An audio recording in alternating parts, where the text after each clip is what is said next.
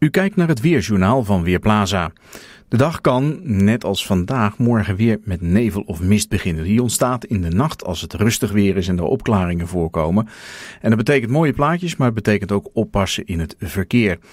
Vandaag loste die mist op en daarna kwam de zon flink tevoorschijn. Op de satellietfoto's zien we wat wolken en die groeien hier en daar uit tot flinke stapelwolken.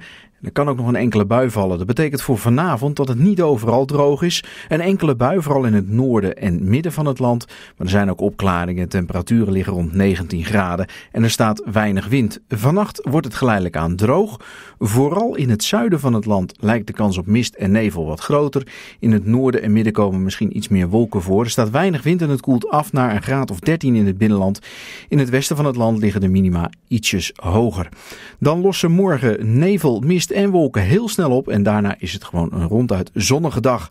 Hoge temperaturen, het wordt 23 tot 25 graden, weinig wind uit het oosten, prachtig nazomerweer.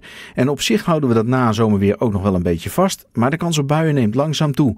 Donderdag kan er al een enkele bui vallen in het zuiden van het land, terwijl het noorden nog veel zon heeft. Vrijdag is de buienkans duidelijk groter, net als zaterdag, en dan kan er ook onweer bij voorkomen. Maar het wordt vrijdag nog altijd 24 graden. In het weekeinde gaan de temperaturen wel iets omlaag, uiteindelijk naar een graad of 20 en dat zien we ook op de lange termijn, de dagen die daarna volgen. De kwik gaat duidelijk wat omlaag, komt rond of iets onder de 20 graden uit. En wat vooral ook opvalt, de nachten worden duidelijk een heel stuk kouder.